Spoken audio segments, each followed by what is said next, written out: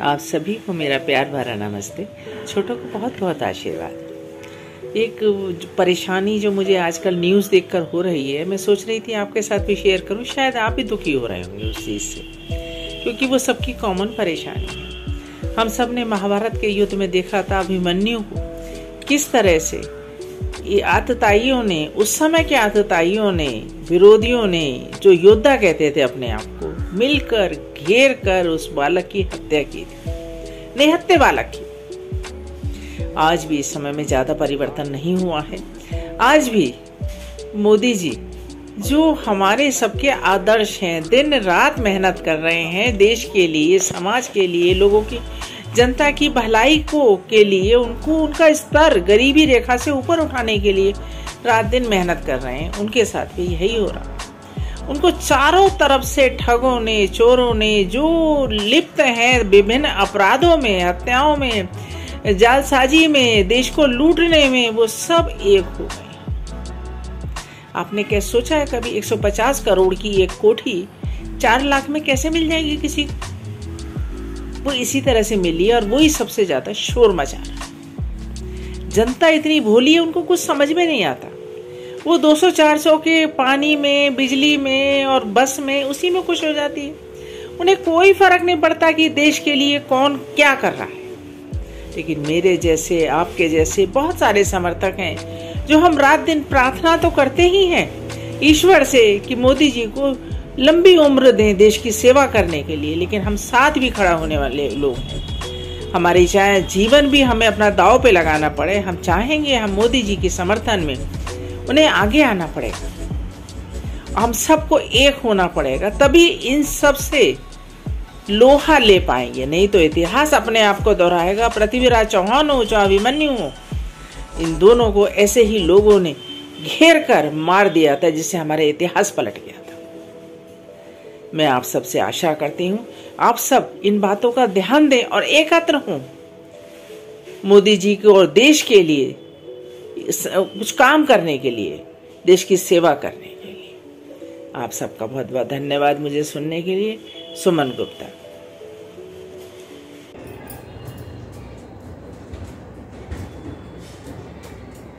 नमस्कार।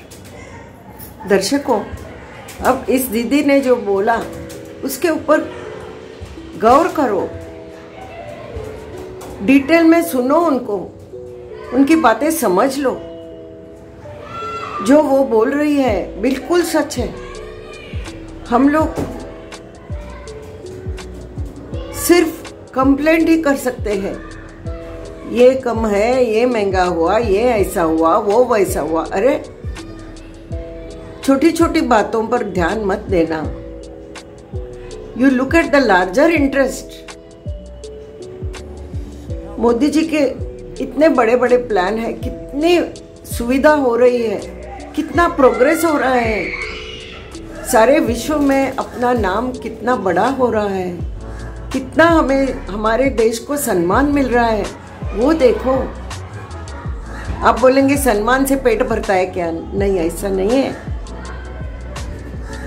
हमारा भारत जब ऊँचे पादान पे जाएगा तो अपने आप सब सुधर जाएगा। अरे, अच्छे लोगों को एक चांस तो दो प्रूव करने का। बुरे लोगों का तो काम ही है ना। वो अच्छा कुछ कर नहीं सकते हैं। सिर्फ़ मोदी जी पे उंगली उठाते हैं। तो हमें ये नहीं करना चाहिए। ऐसा नहीं करना चाहिए। उनका बाकी प्रोग्रेस देखो क्या क्या किया है।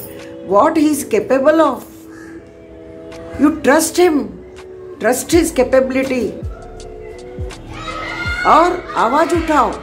आप कैसे आवाज़ उठाएँगे? नारा नहीं देना है हमें। हमें नारा दे के कुछ नहीं होने वाला है। हमें मोदी जी को, मोदी जी के पार्टी को वोट देना है। वही हमारा नारा होगा। मोदी जी को वोट देना है, उसे पूरा चांस देना है। जो भी करना चाहते हैं, चाहो। जैसे अपन अपने बच्चों को करते हैं बच्चा अगर होनहार है वीक है तो उसे स्ट्रांग बनाने की कोशिश करते हैं। और जब भी बच्चा स्ट्रांग है और उसके आँखों में बड़े बड़े सपने हैं तो माँ बाप उसे क्या करते हैं? हाँ? पैसा नहीं है, दाल, चावल सब महँगे है करके उसको, उसका प्रोग्रेस रोकते हैं हम। नहीं माँ बाप क्या करते हैं? कहीं से लोन लेते हैं, कहीं से कर्जा उठाते हैं पर बच्चे को अच्छा भविष्य देते हैं। ऐसे ही करना चाहिए। मोदी जी भारत का बच्चा है। वो होनहार है। उसके आँखों में बड़े बड़े सपने हैं। और खुद के लिए नहीं जनता के लिए है सारे देश के लिए है। तो हमारा कर्तव्य है हम उनसे उनके आ, आवाज़ में आवाज़ मिलाएँ। उनके सपने अपने आँखों से देखें। उनको वोट दे।